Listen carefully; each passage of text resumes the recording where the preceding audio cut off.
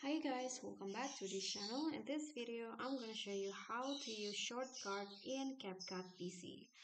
So to see the list of shortcuts that you can use in CapCut PC, you can just click on the shortcut button at the top right here.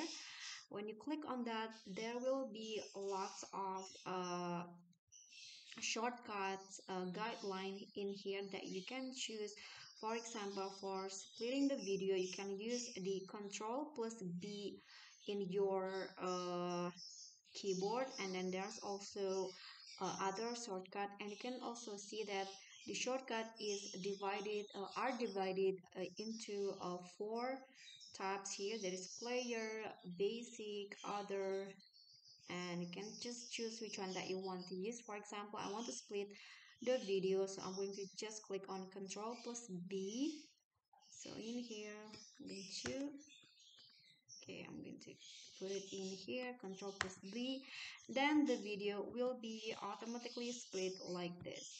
And you can just uh, use other shortcut.